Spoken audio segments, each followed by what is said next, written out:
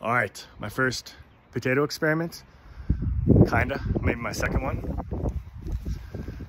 So last year, I put potatoes at the very bottom, and then as the greens would pop through the soil, I would add more dirt, and then keep doing that all the way up.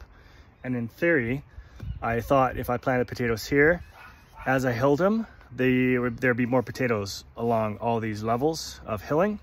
And how a potato grows is grows up and off the main stem, there's tubers that go sideways and then off those tubers is where the potatoes grow. So if there's more dirt and you hill them and you let the greens get some sunshine, thought I'd get more potatoes, but I only have potatoes from pretty much halfway up and the rest was just bare soil and not really big potatoes. So I think I hilled them too much and I got this experiment idea from this compost bin. So what I did was I threw a really ugly really bad looking potato at the very bottom and it grew all the way to the top until it could find some sunshine.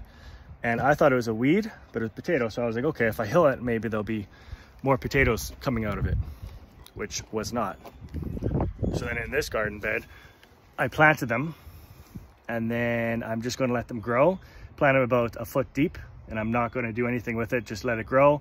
Let all the greens go through the soil and then just let it thrive as much sunshine as it wants until the potatoes are ready. I'm gonna see how big the potatoes are and how many I get.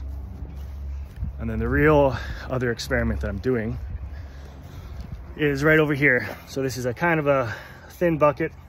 I have a potato down here. And what I'm gonna do is let everything go through the soil, all the greens, but I also planted a potato halfway up.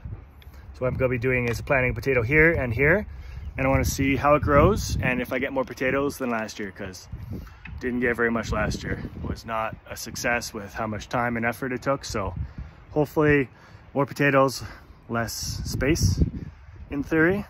Wish me luck.